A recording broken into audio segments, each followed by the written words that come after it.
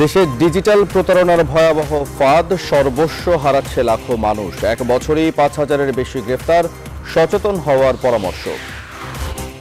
শিশু ধর্ষণের দায়ে বাগেরহাটে আসামির যাবজ্জীবন দণ্ড, অভিযোগ গঠনের সাত দিনের রায়। বিচার ব্যবস্থায় দৃষ্টান্ত বললেন অ্যাটর্নি জেনারেল। আদালতে রায়হান হত্যার বর্ণনা দিলেন প্রত্যক্ষদর্শী তিন কনস্টেবল। আকবর কীভাবে পালালো, অনুসন্ধানে পুলিশ সদর দপ্তরের কমিটি। দেশে করোনার দ্বিতীয় ঢেউয়ের শঙ্কা, সবাইকে মাস্ক পরার নির্দেশনা প্রধানমন্ত্রীর। মার্চের মধ্যে আন্তর্জাতিক বাজারে দুটি টিকা আসার ইঙ্গিত। ডিসেম্বরে পাল্টাপাল্টি কাউন্সিল করতে চায় গণফোরামের ভেঙে যাওয়া দুই অংশই। ভোটের ফল বাতিলের দাবিতে সারা দেশে বিএনপির বিক্ষোভ। লাখো রোহিঙ্গার জীবিকা নির্বাহের সব ব্যবস্থা ভাষাঞ্চরে পরীক্ষামূলক কৃষির দারুণ সাফল্যের স্বপ্ন দেখছেন অন্য চরের বাসিন্দারাও। করোনায় পশ্চিমবঙ্গে পুজো মণ্ডপে এবার দর্শক প্রবেশ নয়, কলকাতা হাইকোর্টের নিষেধাজ্ঞা। কতটা মানা হলো জানাতে নির্দেশনা।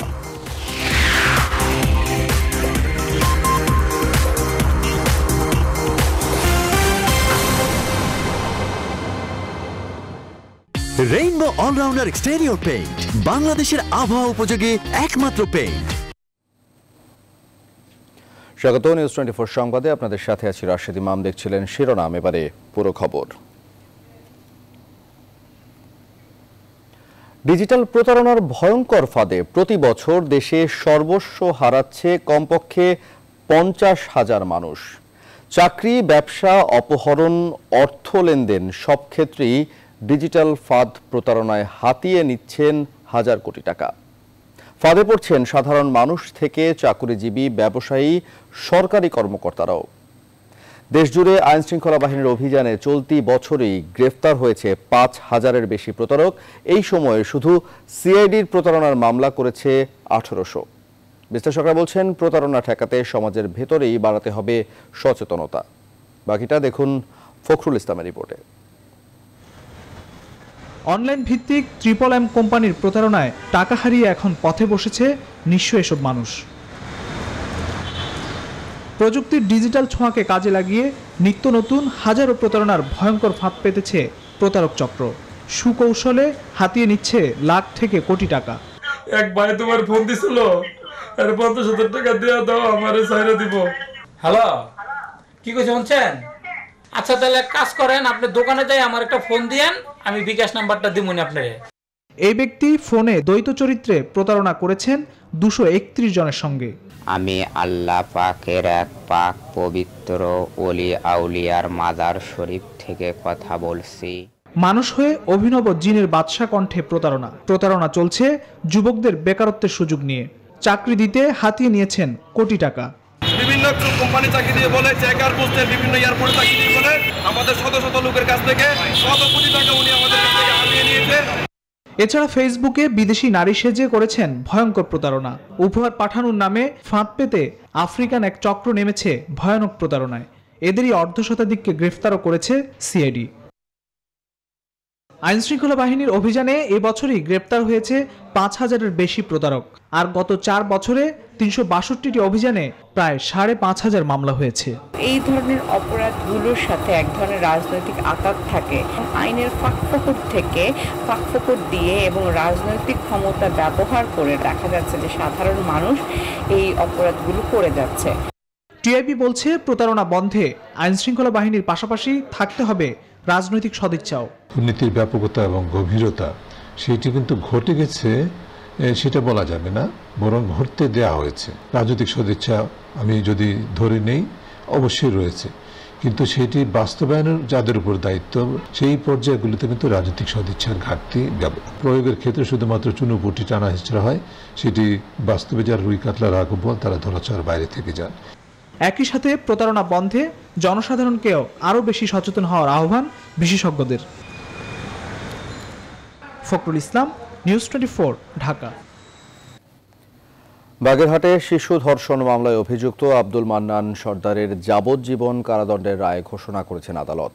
মাত্র সাত কার্যদিবসের মধ্যে এই রায় ঘোষণা করা হয়। সময়ের হিসেবে একে মাইল ফলক বলছেন রাষ্ট্রপক্ষের আইনজীবী। আসামির যাবজ্জীবন কারাদণ্ডে খুশি বাগেরহাটের নারী অধিকার কর্মীরা সোমবার দুপুরে এই নজির স্থাপন করেন জেলা নারী ও শিশু নির্যাতন দমন ট্রাইব্যুনালের বিচারক মোহাম্মদ নুরে আলম। শেখ হাসানুল করিমের তথ্য ও ছবিতে টেস্ট রিপোর্ট। গেল তিন অক্টোবর বাগেরহাটের মোংলায় আব্দুল মান্নান মামার আশ্রয়ে থাকা সাত বছরের এতিম শিশুকে ধর্ষণ করে। এরপর এগারো অক্টোবর ষোলো জনকে সাক্ষী রেখে আদালতে অভিযোগপত্র দেন তদন্ত কর্মকর্তা। বাগেরহাটের জুডিশিয়াল আদালত স্পর্শকাতর বিবেচনায় মামলাটি নারী ও শিশু নির্যাতন দমন ট্রাইব্যুনালে পাঠানোর পর বারো অক্টোবর চার্জ গঠন করেন ট্রাইব্যুনালের দুই নম্বর আদালত। এরপর তেরো অক্টোবর ষোলো জন সাক্ষী এবং পরদিন তদন্ত সংশ্লিষ্ট কর্মকর্তাদের সাক্ষ্য নেওয়া হয়। পনেরো অক্টোবর সাফাই সাক্ষী দেন আসামি আব্দুল মান্নান। রোববার দুপক্ষের আইনজীবীদের যুক্তিতর্ক হয়। এ সময় আসামির যৌন অক্ষমতার দাবি করা হয়। আদালতের নির্দেশে সেদিনই পরীক্ষা করে বিকেলে আব্দুল মান্নানের সক্ষমতার সনদ দেন চিকিৎসক। এরপর রায়ের দিন ধার্য করা হয় সোমবার। যদি প্রশাসন সদিচ্ছা থাকে, স্বচ্ছতা থাকে, জবাবদিহিতা থাকে, তাহলে প্রশাসন পারে না এমন কোনো জিনিস নাই। আমি মনে করি যে এটা বাংলাদেশের জন্য জাতীয়ভাবে একটা মাইল ফলক। বাংলাদেশে মনে হয় ইতিহাসই তো সৃষ্টি হবে এত দ্রুততম সময়ের মধ্যে মামলার রায় ঘোষণা হচ্ছে। যাবজ্জীবন রায়ের বিরুদ্ধে উচ্চ আদালতে আপিলের কথা জানিয়েছেন আসামি পক্ষের আইনজীবী। আমি সন্তুষ্ট না। আমরা মহামান্য হাইকোর্টে আমরা আপিল করব। ধর্ষণ মামলার দ্রুত রায়ে আইনের প্রতি মানুষের আস্থা বাড়বে বলে মনে করেন আইন সংশ্লিষ্টরা ডেস্ক রিপোর্ট নিউজ টোয়েন্টি অভিযোগ গঠনের এক সপ্তাহে শিশু ধর্ষণ মামলার রায়কে বিচার ব্যবস্থায় দীর্ঘসূত্রিতার অবসান হিসেবে দেখছেন রাষ্ট্রের সর্বোচ্চ আইন কর্মকর্তা এ এম আমিন উদ্দিন জানান, ধর্ষণের সর্বোচ্চ সাজার বিধান রেখে অধ্যাদেশ জারির আগেই অপরাধ সংঘটিত হওয়ায় এই রায়ে মৃত্যুদণ্ড দিতে পারেননি বিচারক। তবে তাড়াহুড়া করে রায় দিলে উভয় পক্ষের ক্ষেত্রে ন্যায় বিচার থেকে বঞ্চিত হওয়ার শঙ্কা থাকে বলে মনে করে সংবিধান বিশ্লেষক ডক্টর শাদিন মালিক। বিস্তারিত হাবিবুল ইসলাম হাবিবের রিপোর্টে। বাগেরহাটের মংলায় সাত বছর বয়সী এক শিশুকে ধর্ষণের অভিযোগে আসামিকে আমৃত্যু কারাদণ্ড দিয়েছেন আদালত। অভিযোগ গঠনের সাত কার্যদিবসে জেলা নারী ও শিশু নির্যাতন দমন ট্রাইব্যুনাল দুই এ রায় দেন। এ রায়ে প্রশ্ন উঠেছে, ধর্ষণের সর্বোচ্চ সাজার বিধান করা হলেও কেন এ রায়ে তা প্রতিফলন হয়নি? এই আইনটা যেদিন গেজেটে প্রকাশিত হয়েছে সেদিন থেকে এই আইনটা কার্যকর তার আগের সময় কার্যকর না। এই এর পরের থেকে যারা অপরাধ করবে তাদের জন্য এটা কার্যকর হবে। সংবিধানের আর্টিকেল থার্টি ফাইভে দেখবেন যে প্রচলিত যে অপরাধ সংগঠনের সময়ে প্রচলিত আইনের চেয়ে অধিক কোনো শাস্তি দেওয়া যাবে না। এ রায়ের ফলে দেশের বিচার ব্যবস্থায় যে দীর্ঘসূত্রিতা তার অবসান হতে যাচ্ছে বলেও মনে করছেন অ্যাটর্নি জেনারেল। এই দ্রুততম সময়ে বিচার শেষ হওয়ার প্রেক্ষিতে এখন থেকে যারা মানে এই ধরনের অপরাধে অপরাধী। তারা তাদের কাছে একটা বার্তা যাবে যে এখন আদালত দ্রুততম সময় মামলা শেষ করছেন তবে সংবিধান বিশ্লেষক ডক্টর শাহদিন মালিক মনে করেন তাড়াহুড়া করে বিচার করলে অপরাধ বন্ধ বা ন্যায় বিচার হয় না। অপরাধ যত বড়ই হোক না কেন সবার আইনি সুযোগ পাওয়ার অধিকার রয়েছে। তাড়াহুড়া করে বিচার করলে ন্যায় বিচারকে কবর দেওয়া হয়। বিচারে বিলম্বও করা যাবে না তাড়াহুড়াও করা যাবে না। এই যে মানে অল্প কয়েকদিনে, অল্প কয়েকদিন যে বিচার করে যাবজ্জীবন কারাদণ্ড হয়েছে, আমার আশঙ্কা হাইকোর্টে এসে যে সাজা পেয়েছে, সে যদি এই যুক্তিটা তুলে ধরে, এই ছয় দিনের বিচারে আমি আত্মপক্ষ সমর্থনে যথেষ্ট সুযোগ পাই নাই। আমাকে ন্যায় বিচার থেকে বঞ্চিত করা হয়েছে। তাহলে আমি আশঙ্কা করি একজন আইনজীবী হিসাবে যে তার খালাস পাওয়ার একটা সমূহ সম্ভাবনা তৈরি হবে। স্পর্শকাতর এক ফৌজদারি মামলায় এত কম সময়ে বিচার কাজ শেষ করার নজির বাংলাদেশে এটাই প্রথম। Habibul Islam Habib news twenty Dhaka. এদিকে জয়পুরহাটে চার শিশুকে যৌন নিপীড়নের অভিযোগে আটক মাদ্রাসা শিক্ষক আব্দুর রশিদকে কারাগারে পাঠিয়েছেন আদালত। সোমবার তাকে গ্রেফতার দেখিয়ে আদালতে তোলে পুলিশ। এর আগে রোববার সন্ধ্যায় জয়পুরহাট সদরের মুজাহিদপুর থেকে ওই শিক্ষককে আটক করা হয়। পুলিশ জানায়, রোববার সকালে ওই চার শিশু মাদ্রাসায় যায় ধর্মীয় শিক্ষার জন্য। সেখানে নিজের ঘরে ডেকে নিয়ে তাদের যৌন নিপীড়ন করেন শিক্ষক আব্দুর রশিদ। পরে শিশুদের চিৎকারে এগিয়ে আসেন স্থানীয়রা। এই ঘটনায় সেদিন সন্ধ্যায় থানায় অভিযোগ দায়ের করেন এক অভিভাবক।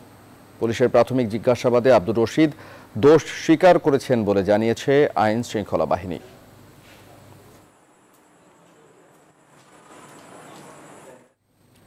সিলেটে পুলিশ ফাঁড়িতে যুবক হত্যার ঘটনায় আদালতে সাক্ষী দিয়েছেন প্রত্যক্ষদর্শী তিন পুলিশ কনস্টেবল, শামীম, সাইদুল ও দেলোয়ার। সোমবার বিকেলে সিলেটের অতিরিক্ত chief metropolitan magistrate Ziadur Rahman একশো চৌষট্টি ধারায় তাদের জবানবন্দি রেকর্ড করেন। এই তিন কনস্টেবলের কাউকেই বরখাস্ত কিংবা প্রত্যাহার করা হয়নি। গেল এগারো অক্টোবর রাতে বন্দরবাজার ফাঁড়িতে নির্যাতনে মৃত্যু হয় রায়হান উদ্দিনের। ওই ঘটনায় পরদিন বরখাস্ত হন ফাঁড়ির ইনচার্জ আকবর হোসেন ভুইয়া, কনস্টেবল হারুনুর রশিদ, তৌহিদ মিয়া ও টিটু চন্দ্র দাস। এছাড়া প্রত্যাহার করা হয় এএসআই আশেক এলাহি, কুতুব আলী ও কনস্টেবল সজীব হোসেনকে। এদিকে রায়হান হত্যা মামলার প্রধান আসামি এসআই আকবরকে পালিয়ে যেতে সহায়তাকারীদের চিহ্নিত করতে তিন সদস্যের তদন্ত কমিটি করেছে পুলিশ সদর দপ্তর।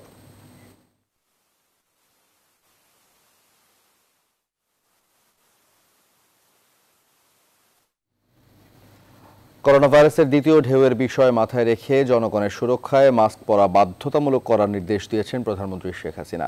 সোমবার সকালে ভার্চুয়াল মন্ত্রিসভা বৈঠক থেকে প্রধানমন্ত্রী এই নির্দেশ দেন। প্রয়োজনে মোবাইল কোর্টের মাধ্যমে আইন প্রয়োগের সিদ্ধান্ত নিয়েছে মন্ত্রিসভা। আরও জানাচ্ছেন তানজির মেহদি। করোনার বর্তমান চিত্র কিছুটা আশা জাগা নেওয়া হলেও আক্রান্তের সংখ্যা কম নয়। আট মাসে সংক্রমিত হয়েছেন প্রায় লাখ চারেক মানুষ। মারা গেছেন সাড়ে পাঁচ হাজারেরও বেশি। এমন বাস্তবতায় করোনার দ্বিতীয় ঢেউ নিয়ে বেশ সতর্ক অবস্থানে সরকার। সোমবার মন্ত্রিসভা বৈঠকে জনগণের সুরক্ষায় মাস্ক ব্যবহার নিশ্চিত করতে মাঠ প্রশাসনকে নির্দেশনা দিয়েছেন প্রধানমন্ত্রী। বৈঠক শেষে জানালেন মন্ত্রিপরিষদ সচিব। আমাদের প্রথমে ফার্স্ট অ্যান্ড ফরমোস্ট থিং হলো আমরা যেন সবাই রেগুলারলি মাস্ক ইউজ করি, অন্তত যখন বাইরে আসি। যেভাবে আপনার যতটুকু সম্ভব মানুষকে সব জায়গা থেকে আপনার রিকোয়েস্ট করে মোটিভেট করে বা ফোর্স যদি করতে হয় আইন প্রয়োগ করতে গেলে আইনও প্রয়োগ করবে। ঢাকা অস্ট্রিয়া সরাসরি বিমান যোগাযোগ স্থাপনে এয়ার সার্ভিস চুক্তির খসড়ার অনুমোদন দিয়েছে মন্ত্রিসভা। দু দেশের মধ্যে বিমান যোগাযোগ যোগাযোগ স্থাপিত হলে ব্যবসা বাণিজ্য শ্রমবাজার শিল্প স্বাস্থ্য খাত ও প্রতিরক্ষা ক্ষেত্রে সহযোগিতা বৃদ্ধি পাবে। একই সাথে ইউরোপীয় অন্যান্য দেশের সাথে বিমান যোগাযোগ সহজ সহজতর হবে। এর আগে সচিবালয়ে শুরু হয় মন্ত্রিসভার নিয়মিত বৈঠক। গণভবন থেকে ভিডিও কনফারেন্সে যুক্ত হন সভার সভাপতি প্রধানমন্ত্রী শেখ হাসিনা। মন্ত্রিসভায় গৃহীত সিদ্ধান্ত পর্যালোচনায় ত্রৈমাসিক প্রতিবেদন তুলে ধরা হয়। গেলবারের চেয়ে কাজের অগ্রগতি কিছুটা কম হলেও কোভিডের ক্ষতি পুষিয়ে নিতে কাজ চলছে বলে জানান মন্ত্রিপরিষদ সচিব। Tanzir Mehedi, news twenty Dhaka. দেশে করোনা ভাইরাসে আক্রান্ত হয়ে একদিনে আরও একুশ জনের মৃত্যু হয়েছে। নতুন রোগী শনাক্ত হয়েছে আরও এক হাজার ছশো জন। সোমবার নিয়মিত প্রেস বিজ্ঞপ্তিতে তথ্য জানায় স্বাস্থ্য অধিদপ্তর। এ পর্যন্ত দেশে মোট আক্রান্তের সংখ্যা তিন লাখ নব্বই হাজার দুশো ছয় জন এবং প্রাণহানি পাঁচ হাজার ছশো একাশি জনে দাঁড়াল। চব্বিশ ঘন্টায় বাসা ও হাসপাতালে চিকিৎসাধীন আরও এক হাজার ছশো সাতাশ জন রোগী সুস্থ হয়েছেন। মোট সুস্থ রোগীর সংখ্যা বেড়ে তিন লাখ পাঁচ হাজার পাঁচশো নিরানব্বই জন হয়েছে।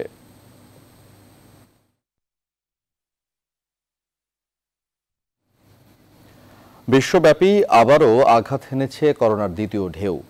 আর জীবন ও জীবিকা দুটির জন্যই এখন বড় প্রশ্ন, কবে আসছে ভ্যাকসিন? এই মুহূর্তে অন্তত দশটি টিকা ক্লিনিক্যাল ট্রায়ালের শেষ পর্যায়ে। তবে এগিয়ে রয়েছে অক্সফোর্ড, মর্ডানা ও চীনা সংস্থা সিনোভ্যাকের করোনা টিকা।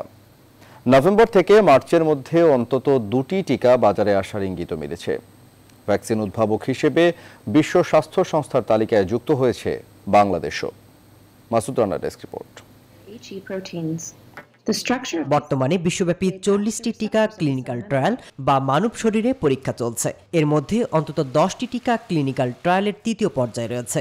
মহামারীর শুরুর দিক থেকে অক্সফোর্ড বিশ্ববিদ্যালয়ের টিকা নিয়ে সবচেয়ে বেশি প্রত্যাশা তৈরি হয়। বর্তমানে যার চূড়ান্ত ধাপের পরীক্ষা চলছে। ভ্যাকসিনটি চলতি বছরের শেষ দিকে স্বাস্থ্য নিয়ন্ত্রকদের সবুজ সংকেত পেতে পারে। অক্সফোর্ড বিশ্ববিদ্যালয় এবং ঔষধ প্রস্তুতকারক সংস্থা অ্যাস্ট্রোজনিকার তৈরি টিকা বানাচ্ছে ভারত। সবুজ সংকেত পেলে আগামী মার্চেই দেশে করোনা টিকা এসে যাবে। যে কয়টি দেশ টিকা তৈরিতে এগিয়ে রয়েছে, তার মধ্যে অন্যতম চীন। চীনা সংস্থা সিনোভ্যাক এর বাননা টিকা ট্রায়ালের শেষ পর্যায়ে রয়েছে। এছাড়াও চীনের তৈরি চারটি টিকা ক্লিনিক্যাল ট্রায়ালের শেষ পর্যায়ে রয়েছে। কোভিড উনিশ রোধে পরীক্ষামূলক টিকার ইতিবাচক ফল পাওয়ার কথা জানিয়েছে মার্কিন কোম্পানি ফাইজার, মডার্না এবং জার্মান কোম্পানি বায়োএনটেক। এরই মধ্যে স্পুটনিক ফাইভ নামক ওই টিকার একশো বিশ কোটি ডোজের আগাম বুকিং দিয়েছে অন্তত দশটি দেশ। এ পর্যন্ত বিশ্বের বিভিন্ন দেশে ভ্যাকসিন নিয়ে কাজ চললেও এরই মধ্যে বিশ্ব স্বাস্থ্য সংস্থার তালিকায় ঢুকেছে একশো সাঁত্রিশটির নাম। বাংলাদেশের প্রতিষ্ঠান গ্লোব বায়োটেকের তৈরি করা তিনটি ভ্যাকসিনকে বিশ্ব স্বাস্থ্য সংস্থার ভ্যাকসিন প্রি ক্লিনিক্যাল ক্যান্ডিডেটের তালিকায় অন্তর্ভুক্ত করা হয়েছে। গ্লোব বায়োটেক বলছে, এই ভ্যাকসিনের একটি ক্যান্ডিডেটের প্রি ক্লিনিক্যাল ট্রায়াল এরই মাঝে সফলভাবে সম্পন্ন হয়েছে।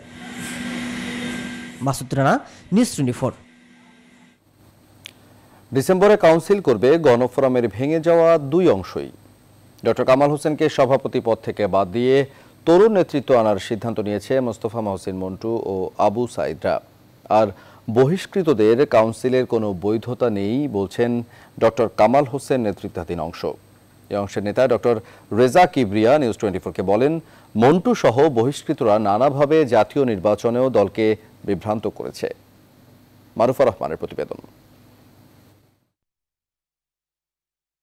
গণফোরামের কেন্দ্রীয় কমিটির সভায় দলীয় শৃঙ্খলা ভঙ্গের অভিযোগে মোস্তফা মহসিন মন্টু ও আবু সাইদ সহ আটজনকে বহিষ্কার করেছে গণফোরামের কামাল হোসেনের নেতৃত্বাধীন অংশ। এ প্রসঙ্গে মোস্তফা মহসিন মন্টু বলেন, তারা এরই মধ্যে দলের বিভিন্ন স্তরের নেতাকর্মীদের সাথে বৈঠক করছেন।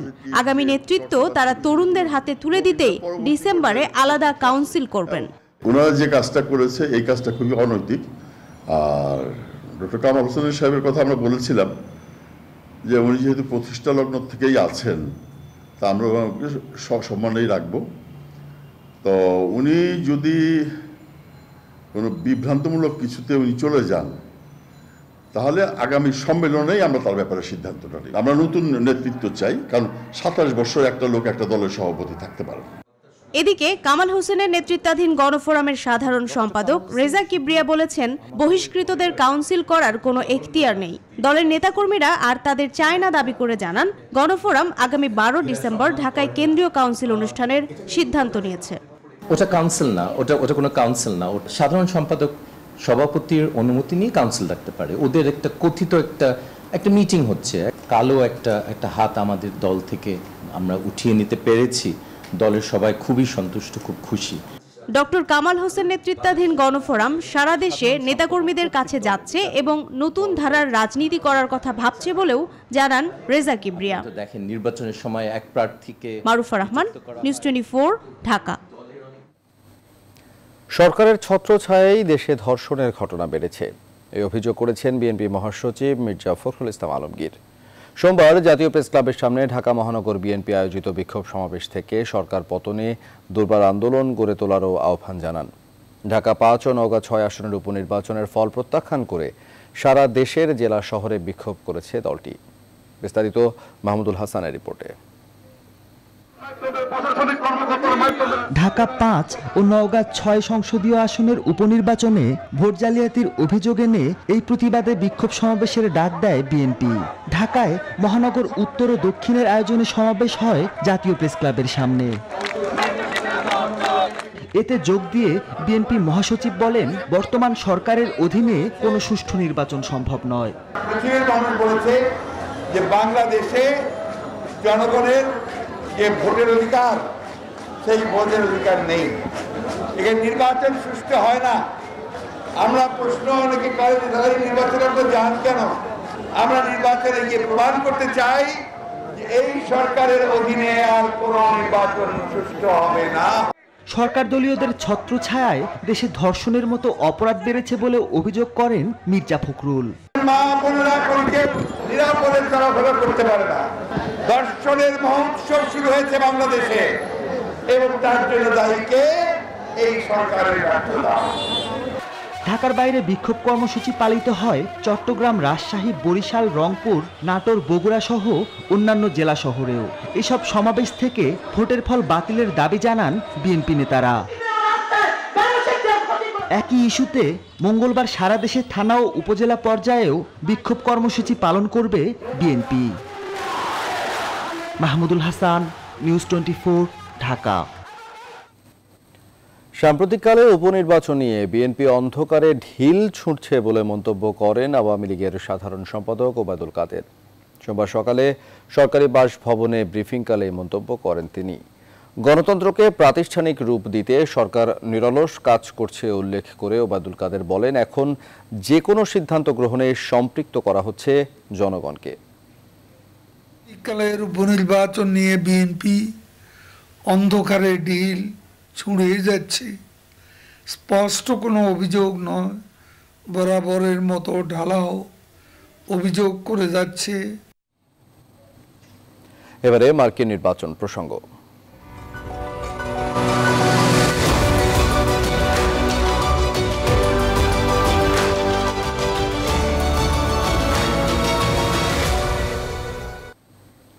নির্বাচনী প্রচারণায় পাল্টাপাল্টি আক্রমণে ডোনাল্ড ট্রাম্প ও জো বাইডেন। যুক্তরাষ্ট্র থেকে মার্কিন প্রেসিডেন্ট নির্বাচনের খবর জানিয়েছেন সহকর্মী সুলতানা রহমান। তাদের শেষ চেষ্টাটুকু করছেন এখন। সময় প্রায় শেষ, মাত্র দুই সপ্তাহ বাকি আছে। প্রেসিডেন্ট ডোনাল্ড ট্রাম্প খুবই তীর্যক ভাষায় জো বাইডেনকে আক্রমণ করছেন। তিনি গতকাল বলেছেন যে তিনি যদি জো বাইডেনের মতো অযোগ্য, অদক্ষ প্রার্থীর কাছে পরাজিত হন, তাহলে তিনি আর এই দেশেই থাকবেন না, এই দেশ থেকেই তিনি চলে যাবেন। তিনি জো বাইডেনকে মনে করছেন যে আমেরিকার ইতিহাসে সবচেয়ে নিকৃষ্ট প্রেসিডেন্ট প্রার্থী। এরকম একটি অবস্থায় ডোনাল্ড ট্রাম্প যেভাবে তার প্রচারণাটি চালাচ্ছেন, তার কৌশলটি হচ্ছে যতভাবে জো বাইডেনকে আক্রমণ করা যায়, তিনি মেক আমেরিকা গ্রেট অ্যাগেন স্লোগানে এই বছরও প্রচারণা করছেন। তিনি বলছেন যে জো বাইডেন হচ্ছে গিয়ে একেবারেই তার দক্ষতা যোগ্যতা নিয়ে তিনি তো বারবার প্রশ্ন তুলছেনই। উন্নয়ন বনাম বলতে পারেন যে উদাসীনতা জো বাইডেনকে তিনি উদাসীনতা, উদাসীন মনে করছেন, অযোগ্য মনে করছেন। অর্থনৈতিক কর্মকাণ্ড বনাম অর্থনৈতিক ব্যর্থতা, এইভাবে করে তিনি জো বাইডেনকে ঘায়েল করার চেষ্টা করছেন। অন্যদিকে জো বাইডেন বলছেন যে প্রেসিডেন্ট ডোনাল্ড ট্রাম্প মিথ্যাচার করে, তথ্য গোপন করে আসলে দেশের মানুষকে নানাভাবে বিভ্রান্ত করেছে, যার ভোগান্তিতে এই দেশে এখন পর্যন্ত একশো, দুইশো বাইশ হাজার মানুষ করোনা ভাইরাসে আক্রান্ত হয়ে মারা গেছেন। তিনি সেই ফেব্রুয়ারি মাসে জানতেন যে এই ভাইরাসটি কত ভয়াবহ কত ভয়াবহ ভাবে আমেরিকানদের উপর আঘাত করতে যাচ্ছে। কিন্তু সেই তথ্য তথ্য তিনি প্রকাশ তো করেননি বরং তিনি উল্টো, এটি কিছুই নয়, এই ভাইরাসটিকে তিনি নানাভাবে অবহেলা করেছেন, কটাক্ষ করেছেন, এখনও তিনি সেটি করে যাচ্ছেন। জো বাইডেন সেই বিষয়গুলি তুলে ধরার চেষ্টা করছেন। সেই সঙ্গে প্রেসিডেন্ট ডোনাল্ড ট্রাম্প সম্পর্কে আমেরিকানদের, বিশেষ করে জনমত জরিপগুলো বলছে, তার অর্থনৈতিক কর্মকাণ্ড আসলে মানুষের কাছে বেশ প্রশংসনীয়। সেই দিক থেকে জো বাইডেন বলছেন যে আসলে অর্থনৈতিক উন্নয়নের যে ফিরিস্তি ডোনাল্ড ট্রাম্প দিচ্ছেন, এটি আসলে এটি, এটির কোনো সত্যতা নেই বরং তার আগে বারাক ওবামার আমলে যেই অর্থনৈতিক কর্মকাণ্ডগুলি নেওয়া হয়েছিল, তারই ধারাবাহিকতার সুফল আসলে ডোনাল্ড ট্রাম্পের সময় পাওয়া যাচ্ছে। আগামী চব্বিশে অক্টোবর দুই প্রার্থীর মধ্যে দ্বিতীয় সরাসরি বিতর্ক অনুষ্ঠিত হবে, সেটির অপেক্ষায় রয়েছেন আমেরিকানরা। রোহিঙ্গা ইস্যুতে আন্তর্জাতিক আদালতে গাম্বিয়ার দায়ের করা মামলার সমর্থনে আবেদন পেশ করবে নেদারল্যান্ডস। নেদারল্যান্ডসের পররাষ্ট্রমন্ত্রী স্টেফ ব্লক, বাংলাদেশের পররাষ্ট্রমন্ত্রী ডক্টর এ কে আব্দুল মোমেনকে লেখা এক চিঠিতে, রোহিঙ্গাদের প্রতি মিয়ানমার সরকারের নৃশংসতার বিচার ও জবাবদিহিতা নিশ্চিত করতে তার সরকারের এই অঙ্গীকারের কথা উল্লেখ করেন। সোমবার পররাষ্ট্র মন্ত্রণালয়ের এক প্রেস বিজ্ঞপ্তিতে তথ্য জানানো হয়। এর আগে ঢাকায় নিযুক্ত নেদারল্যান্ডসের রাষ্ট্রদূত হ্যারি ভারোয়েজ রোববার রাষ্ট্রীয় অতিথি ভবন পদ্মায় ডক্টর মোমেনের কাছে তার দেশের পররাষ্ট্রমন্ত্রীর চিঠিটি হস্তান্তর করেন।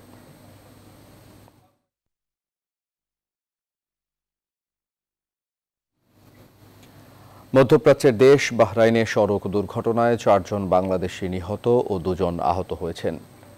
সোমবার উনিশ অক্টোবর স্থানীয় সময় দুপুর আনুমানিক আড়াইটায় স্থানীয় হামেলা নামক স্থানে এই দুর্ঘটনা ঘটে।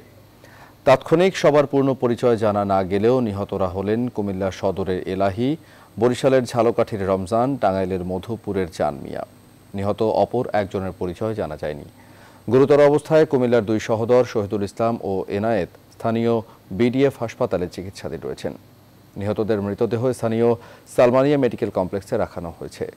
প্রতিবেশী ও প্রত্যক্ষদর্শীর সূত্রে জানা যায়, সবাই একই কোম্পানিতে কাজ করতেন এবং রাজধানীর মানামায় বাস করতেন। কাজ শেষে ঘরে ফেরার সময় চালক নিয়ন্ত্রণ হারিয়ে অপর পাশে চলে গেলে পেছন থেকে গাড়ি এসে সজোরে ধাক্কা দেয়। এতে গাড়ি দুটি দুমড়ে মুচড়ে যায়। এতে ঘটনাস্থলেই চারজনের মৃত্যু হয়। অপর দুই সহোদরকে গুরুতর আহত অবস্থায় স্থানীয় বিডিএফ হাসপাতালে ভর্তি করা হয়।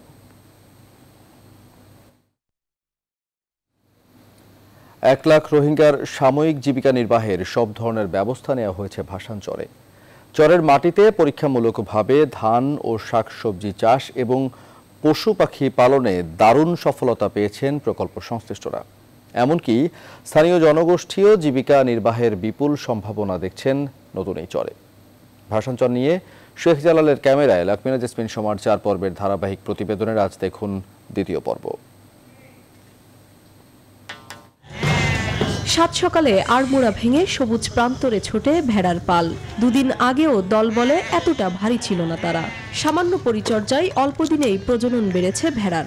ভাষাঞ্চরের মাটিতে অন্তত এক লাখ রোহিঙ্গার সাময়িক জীবিকা নির্বাহের এমন নানা রকম পথ বের করেছে সরকার। রাখাইনে রোহিঙ্গাদের জীবন জীবিকার অন্যতম উৎস ছিল কৃষি। আর সে বিষয়টি মাথায় রেখেই এখানে ফসল উৎপাদন থেকে শুরু করে পশু পাখি পালন সহ আরও নানা রকম অর্থনৈতিক কর্মকাণ্ডের সাথে রোহিঙ্গাদের সম্পৃক্ত করতে এবং স্বনির্ভর করে গড়ে তুলতে সব ধরনের ব্যবস্থা রেখেছে এখানকার প্রকল্প পরিচালক।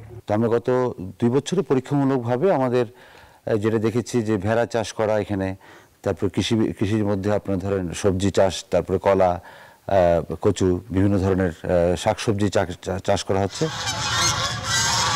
নোনা জল টপকে গেল দুই বছর মিষ্টি পানির সরবরাহ ঘটেছে ভাসানচরে। পুকুরগুলোতে তপ্ত দুপুরে রাজত্ব করছে রাজহাঁসের দল।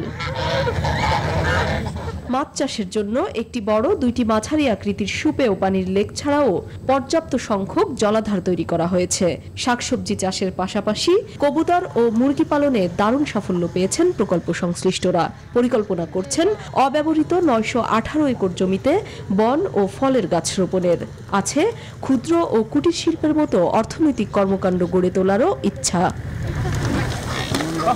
ভাষাঞ্চর জেগে ওঠার শুরুর দিকে পার্শ্ববর্তী চর সন্দ্বীপ থেকে মহিষ চড়াতে আসতেন স্থানীয়রা। প্রাকৃতিকভাবে এসব পশুর খাবারের পর্যাপ্ত সংস্থান থাকায় এখনও এই চরটিতে প্রায় ছয় হাজার মহিষ চড়ান স্থানীয় চরাঞ্চলবাসী।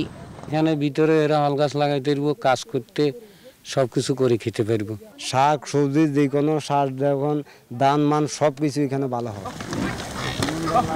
রোহিঙ্গাদের সাময়িকভাবে স্বনির্ভরতা অর্জনের পাশাপাশি এই চর ঘিরে জীবিকা নির্বাহের এক নতুন সম্ভাবনা দেখছেন পার্শ্ববর্তী চরাঞ্চলের মানুষ। Lakmila Jesmin Soma, news twenty four Bhasanchar Noakhali. Corona প্রেক্ষাপটে আন্তর্জাতিকভাবে গ্রহণযোগ্য অনলাইন পরীক্ষা দেশেও সম্ভব কিনা তা যাচাইয়ের কাজ শুরু করছে বিশ্ববিদ্যালয়গুলো। কারণ পরীক্ষা ছাড়া বিশ্ববিদ্যালয়ে ভর্তি না করার বিষয়ে সম্মত হয়েছেন উপাচার্যরা। ইউজিসি বলছে শিক্ষার্থীদের স্বাস্থ্য নিরাপত্তার বিষয়টি বিবেচনায় রেখেই নেওয়া হবে চূড়ান্ত সিদ্ধান্ত। সজল দাসের প্রতিবেদন। পরীক্ষা ছাড়া বিশ্ববিদ্যালয়ে ভর্তি নয় এই সিদ্ধান্তে একমত উপাচার্যরা। কিন্তু কীভাবে নেওয়া হবে সেই পরীক্ষা? শুধুমাত্র একটি অ্যান্ড্রয়েড স্মার্ট ডিভাইসের প্রয়োজন হবে। যে অ্যান্ড্রয়েড স্মার্ট ডিভাইসে মিনিমাম একটি ক্যামেরা থাকতে হবে এবং রেকর্ডিং ডিভাইস থাকতে হবে। ফেস টু ফেস পরীক্ষাতেও যদি নকল করা যায়, এখানে নকল করার কোনো সুযোগ থাকবে না। কেন থাকবে না? ইন্টারন্যাশনাল প্রক্টর সফটওয়্যারগুলো আপনার তিনটা বিবেচনায় কাজ করে। একটা হচ্ছে তার ছবি নিচ্ছি আমরা কন্টিনিউয়াসলি তার ভিডিও রেকর্ড করছি আমরা কন্টিনিউয়াসলি এবং তার অডিও নিচ্ছি কন্টিনিউয়াসলি এবং ওই ডিভাইসটা তখন ওই সফটওয়্যারের কন্ট্রোলে থাকবে। সে ওই ডিভাইসটা দিয়ে সেটা ল্যাপটপ হোক আর মোবাইল হোক, অন্য কোনো ব্রাউজার ওপেন করতে পারবে না। যদি এটাতে তারা সন্তোষ প্রকাশ করেন যে না সফটওয়্যারটাতে রিলায়েবল ওয়েতে অথেন্টিক এবং ট্রান্সপারেন্ট ওয়েতে আমরা পরীক্ষা নিতে পারব। তখন বিশ্ববিদ্যালয়গুলো তার নিজস্ব যে পরীক্ষাগুলো নিতে পারছে না যে অনলাইনে ক্লাসের যে পরীক্ষাগুলো নিতে পারছে না সেই পরীক্ষাগুলো নিয়ে এটাতে একটা অভিজ্ঞতা অর্জন করে তারপর আমরা বৃহত্তর ক্ষেত্রে এটাকে অ্যাপ্লাই করার চিন্তা ভাবনা বিশ্ববিদ্যালয়ের একাডেমিক পরীক্ষায় যাচাইয়ের পর ভর্তি পরীক্ষায় এই ডিভাইস ব্যবহার করা যাবে কিনা সেই সিদ্ধান্ত নেবে বিশ্ববিদ্যালয়গুলো। প্রায় সব বিশ্ববিদ্যালয় এটাই চিন্তা যে ভর্তি পরীক্ষা নিতে হবে। আমরা সবাই মোটামুটি কনভিন্স হ্যাঁ এটা দিয়ে অনলাইনে পরীক্ষা নেওয়া যাবে।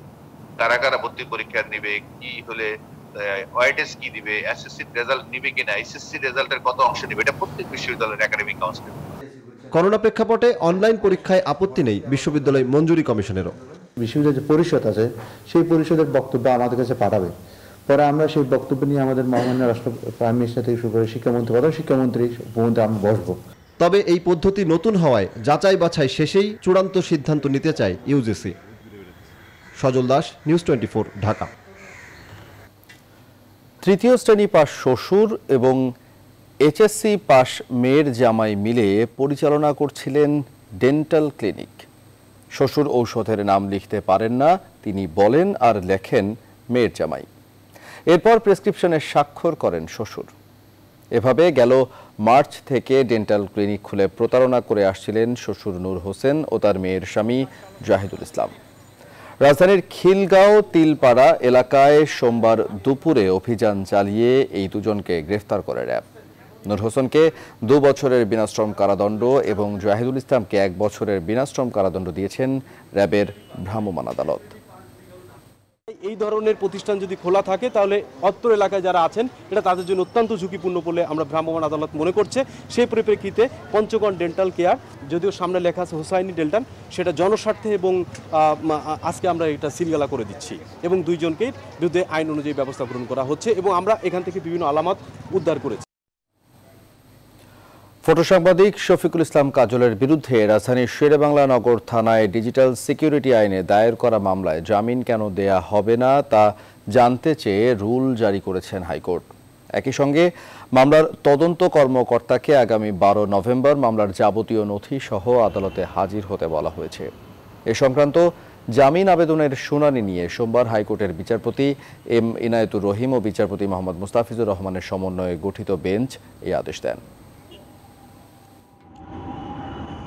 আমরা শেরেবাংলা নগর থানায় করা মামলাটির জামিনের শুনানি করেছি এবং জামিনের শুনানি শেষে মহামান্য হাইকোর্ট বিভাগ দু সপ্তাহের রোল জারি করেছেন এবং মামলার যিনি তদন্তকারী কর্মকর্তা তাকে আগামী বারোই নভেম্বর আদালতে কেস ডকেট সহ উপস্থিত হতে নির্দেশনা দিয়েছেন। বগুড়ায় অদ্ভুত আকৃতির এক শিশুর জন্ম হয়েছে। শিশুটির লিঙ্গ কি তা বোঝা যাচ্ছে না। সোমবার রাতে শহরের সরকারি মা ও শিশু কল্যাণ কেন্দ্রে শিশুর জন্ম দেন মা মিতু আক্তার। শিশুটির দুই পা একত্র অবস্থায় রয়েছে, তার পায়ুপথ কিংবা প্রস্রাবের স্থান নেই। চিকিৎসকরা জানান, শিশুর শরীরের নিচের অংশে অস্বাভাবিকতা থাকলেও শরীরের অঙ্গ প্রত্যঙ্গ স্বাভাবিকভাবে কাজ করছে। উন্নত চিকিৎসার জন্য শিশুটিকে বগুড়ার শহীদ জিয়াউর রহমান মেডিকেল কলেজ হাসপাতালে পাঠানো হয়েছে।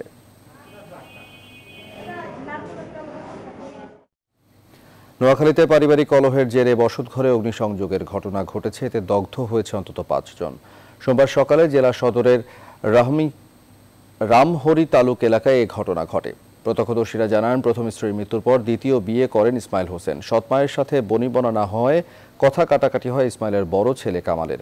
এক পর্যায়ে ঘরের একটি কক্ষে ঢুকে পেট্রোল ঢেলে অগ্নিসংযোগ করে কামাল। এতে ইসমাইলের স্ত্রী, সন্তানসহ অগ্নিদগ্ধ হয় পাঁচজন। আহতদের প্রাথমিক চিকিৎসার জন্য নোয়াখালী জেনারেল হাসপাতালে ভর্তি করা হয়। পরে আশঙ্কাজনক অবস্থায় তিনজনকে ঢাকায় পাঠানো হয়। বিনা দোষে কারাভোগ করা পাটকল শ্রমিক জাহালমকে পনেরো লাখ টাকা ক্ষতিপূরণ দেওয়া সংক্রান্ত হাইকোর্টের রায় স্থগিত চেয়ে আবেদন করা হয়েছে। সোমবার আপিল বিভাগের সংশ্লিষ্ট শাখায় ব্র্যাক ব্যাংক লিমিটেডের পক্ষে আইনজীবী মোহাম্মদ আসাদুজ্জামান এই আবেদন করেন।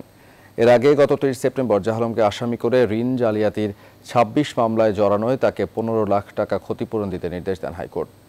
এক মাসের মধ্যে ব্র্যাক ব্যাংক কর্তৃপক্ষকে জাহালমকে এই টাকা দিতে বলা হয়।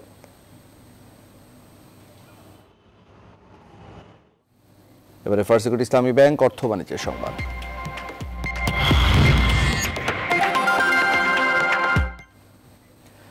পিপলস লিজিং বন্ধ চান না আমানতকারীরা।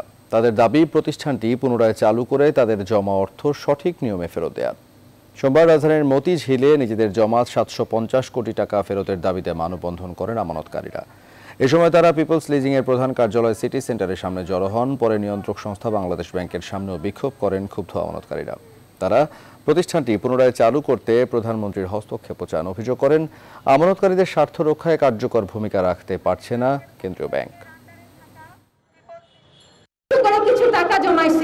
সেই জমানো টাকাটা এখানে রেখেছিলাম। যে আমাদের স্বপ্ন পূরণ করব। এখন আমরা আমাদের চিকিৎসার টাকা পাচ্ছি না। আমি একজন বীর মুক্তিযোদ্ধা হিসেবে আমি আমার মরণোত্তর যে গার্ড অব অনার মাননীয় প্রধানমন্ত্রী আমাকে গার্ড অব অনার আপনার ভারতের পশ্চিমবঙ্গের গোটা রাজ্যে দুর্গাপূজা উপলক্ষে নির্মিত সব পূজা মণ্ডপে দর্শক ঢোকায় নিষেধাজ্ঞা জারি করলেন কলকাতা হাইকোর্ট।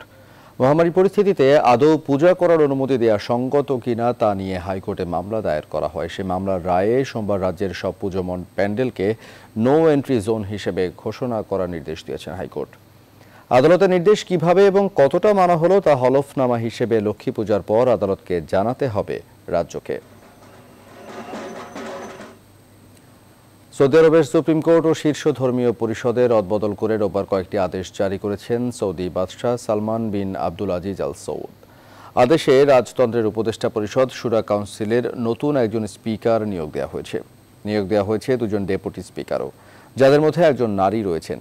এছাড়াও রোববার কাউন্সিল অব সিনিয়র স্কলার্সের সংস্কার এনে এর প্রধানের দায়িত্ব দেওয়া হয়েছে grand mufti Sheikh Abdullah Aziz Al শেখকে।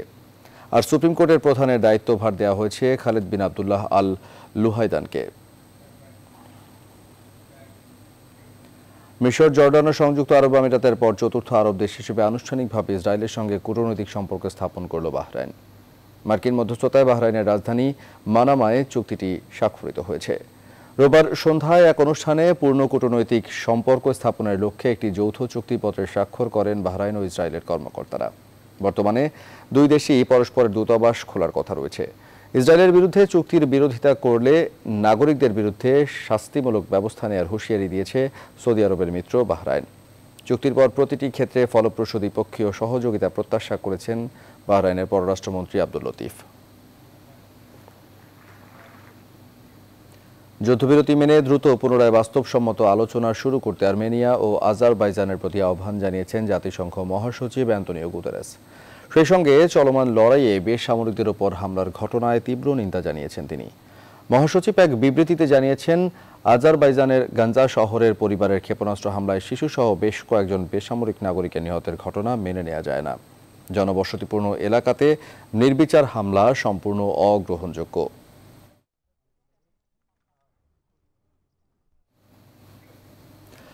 ফ্রান্সে প্রবাসী বাংলাদেশি বৌদ্ধ সম্প্রদায়ের প্রতিষ্ঠিত ইউরোপিয়ান বাংলাদেশ বুদ্ধিস্ট সেন্টারে শুভ কঠিন চিবরদান অনুষ্ঠিত হয়েছে।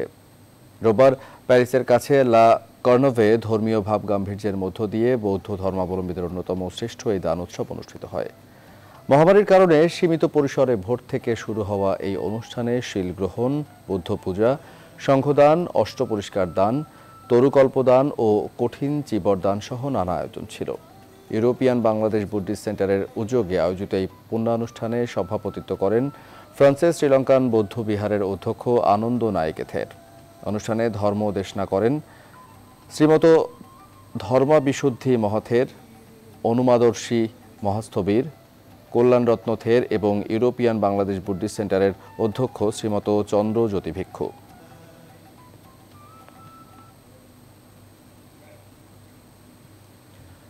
বসনিয়ার উত্তর পশ্চিমে অবস্থিত ক্রোয়েশিয়ার সীমান্তবর্তী শহর ভেলিকা ক্লাদুসায় এক জঙ্গলে আশ্রয় নিয়েছেন কয়েকশো বাংলাদেশি। বসনিয়া থেকে ক্রোয়েশিয়ার মধ্য দিয়ে স্লোভেনিয়া হয়ে ইউরোপিয়ান ইউনিয়নের অন্তর্ভুক্ত দেশগুলোতে, বিশেষত ফ্রান্স, ইতালি ও স্পেনে অবৈধভাবে অনুপ্রবেশের জন্য তারা মূলত সেখানে অবস্থান করছেন। এদের মধ্যে অনেকেই কয়েকবার ক্রোয়েশিয়া কিংবা স্লোভেনিয়াতে প্রবেশ করতে পারলেও এই দুই দেশের পুলিশের তৎপরতার কারণে তাদেরকে বাধ্য হয়ে আবারও জঙ্গলে ফিরে আসতে হয়েছে। খেলার খবর। করোনার কারণে স্থগিত ঢাকা প্রিমিয়ার লিগ গড়াচ্ছে না এবছর, তবে সিসিডিএম এবং ক্লাবগুলোর সঙ্গে আলোচনা করে জানুয়ারিতে চালু করা যেতে পারে ডিপিএল, এমন আভাস দিলেন বিসিবি পরিচালক খালেদ মাহমুদ সুজন। এদিকে, বিদেশি ক্রিকেটার ছাড়াই নভেম্বরে পাঁচ দলের টি টোয়েন্টি টুর্নামেন্ট আয়োজনের কথা ভাবছে বিসিবি। আরিফুল ইসলামের রিপোর্ট। বিসিবি প্রেসিডেন্টস কাপ নিয়ে ব্যস্ত জাতীয় দলের ক্রিকেটাররা। তবে মাঠের বাইরে থেকে রুটি রুজির পথ বন্ধ, এমন খেলোয়াড়ের সংখ্যা কম নয়। করোনার কারণে স্থগিত ঢাকা প্রিমিয়ার লিগের দিকে তাকিয়ে ওরা। তবে আশার খবর তেমন নেই বললেই চলে। এবছর গড়াচ্ছে না ডিপিএল। সিসিডিএম এবং ক্লাবগুলোর সঙ্গে আলোচনা করে চালু করা যেতে পারে জানুয়ারিতে, যেখানে প্রিমিয়ার লিগ নিয়ে আরেকটি বাধা, অবশ্য স্বাস্থ্যবিধি। এত লোককে একসাথে অ্যাকোমোডেট করাটার মতন জায়গা কোথায় আছে? এটা একটা বড় প্রশ্ন আমাদের জন্য। We are working on it আমরা বিকেএসপির সাথে চেষ্টা করছি যে ওখানে কতজনকে আমরা অ্যাকোমোডেট করতে পারি। ক্লাবগুলোকে একটা ট্রেনিং করার সুযোগের ব্যবস্থা করতে হবে আবার প্লেয়ারগুলোকে একটা করতে হবে। তো জানুয়ারির ফার্স্ট উইক বা আমি যদি ওইভাবে দশ তারিখকে টার্গেট করে চিন্তা করি এর আগে মনে হয় না পসিবল হবে আমাদের নভেম্বরে পাঁচ দল নিয়ে টি টোয়েন্টি টুর্নামেন্ট আয়োজন করতে যাচ্ছে বিসিবি যেখানে অংশ নিতে বড় কোনো বিদেশি ক্রিকেটার এখনও আগ্রহ দেখায়নি। তামিম বা সাকিব বা মাহমুদুল্লাহ বা যারা আমাদের টপ প্লেয়ার তাদের মানের থেকে নিচু কোনো প্লেয়ার আসলে তো আমরা সেটাকে কনসিডার করব না। কোনোভাবেই আমরা চাই না যে ওই মানের থেকে ভালো প্লেয়ার আসলে আমরা কনসিডারে রাখতে পারি। কিন্তু এখন আমরা সত্যি কথা বলতে সেরকম কোনো নাম পাইনি। বড় প্লেয়ারদের নাম পাইনি। যদি না হয় তাহলে ফরেন প্লেয়ার খেলবে তাহলে লোকাল প্লেয়ার দিয়েই করব আমরা। বিসিবি প্রেসিডেন্টস কাপে রান খড়ায় টপ অর্ডার করোনাকালের বিরতির পর এখনও মানিয়ে নিতে পারেনি অনেক ব্যাটসম্যান বলছেন Khaled Mahmud Sujon. Ariful Islam news twenty four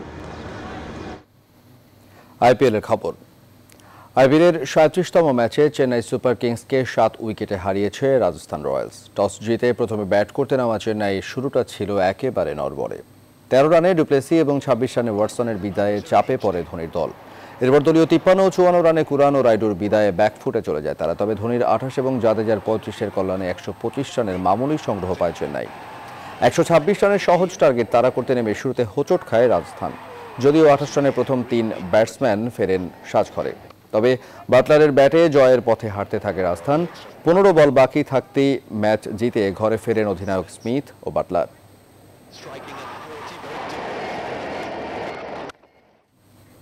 শেষ করব এখনকার নিউজ টোয়েন্টি ফোর সংবাদ, তার আগে শিরোনামগুলো আরও একবার।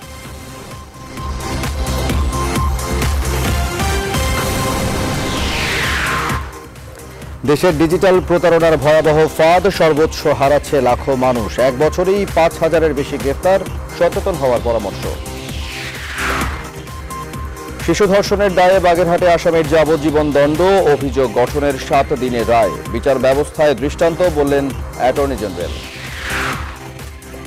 আদালতে রায়হান হত্যার বর্ণনা দিলেন প্রত্যক্ষদর্শী তিন কনস্টেবল। আকবর কীভাবে পালালো, অনুসন্ধানে পুলিশ সদর দপ্তরের কমিটি।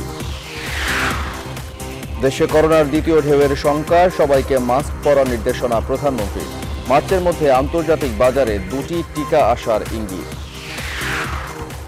ডিসেম্বরে পাল্টা পাল্টি কাউন্সিল করতে চায় গণফোরামের ভেঙে যাওয়া দুই অংশই, ভোটের ফল বাতিলের দাবিতে সারা দেশে বিএনপির বিক্ষোভ। লাখো রোহিঙ্গার জীবিকা নির্বাহের সব ব্যবস্থা ভাসান চরে। পরীক্ষামূলক কৃষির দারুণ সাফল্যের স্বপ্ন দেখছেন অন্য চরের বাসিন্দারাও।